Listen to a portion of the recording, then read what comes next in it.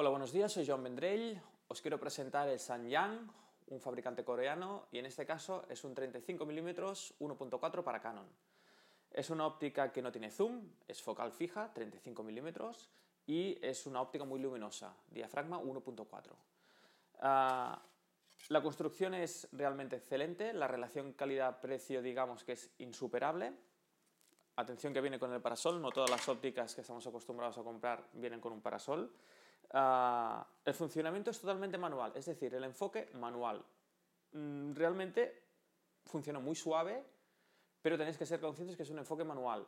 Este enfoque manual no disponemos de ah, una pantalla partida que nos ayude a saber si realmente está enfocado o no, y tampoco tenemos una confirmación de enfoque en el caso de Canon. Caso de Nikon, la misma óptica, Sanyan 35 1.4 para Nikon, sí que tiene confirmación. ¿Qué es la confirmación?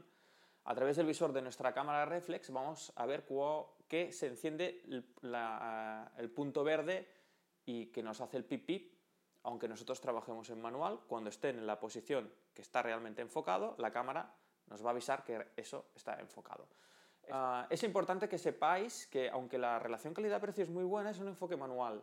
Es un enfoque manual y que no acaba de ser lo preciso o no te acaba de aportar las eh, facilidades para enfocar. Si no habéis enfocado nunca manualmente, pues una cantidad importante de fotografías no os van a salir ah, eh, dentro, de foco, dentro de foco. Además, si sabéis que es una óptica luminosa, 1.4, una profundidad de campo eh, muy pequeña, con lo cual el foco también es complicado y pues puede ser que tengáis que practicar un, un ratito antes de empezar a sacarle partido a esta óptica. Como os comento, en Canon no tenemos ninguna ayuda, eh, en Nikon sí que tenemos la confirmación de foco. Y en ninguno de los dos casos tenemos una pantalla partida que nos ayude a enfocar correctamente.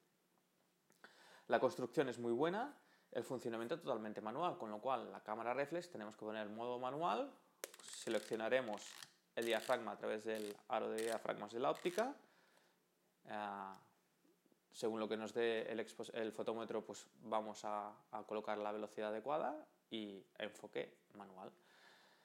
No hay más comentarios, la óptica la estaba probando en los últimos photowalls, 35 mm es excelente para fotografía callejera, es suficientemente angular pero no demasiado como para empezar a deformar ópticas, pero también tenéis, que ser conscientes que el Sanyang, aunque la relación calidad-precio, como os he dicho muchas veces, es excelente, no es el 35 mm de Canon.